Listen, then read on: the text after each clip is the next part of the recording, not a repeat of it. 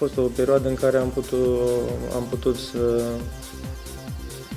reabilităm toate carențele care erau la unii jucători.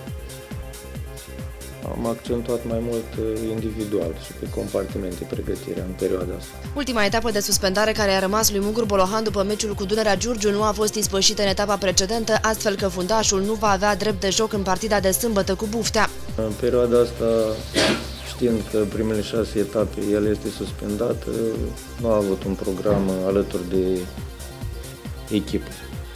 Însă, ușor, ușor, eu zic că se poate integra și poate ajuta mult echipa Suceava.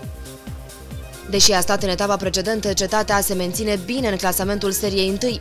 Adversarele directe ale sucevenilor în lupta pentru evitarea retrogradării Știința și Dinamo 2 au înregistrat o înfrângere, respectiv un egal.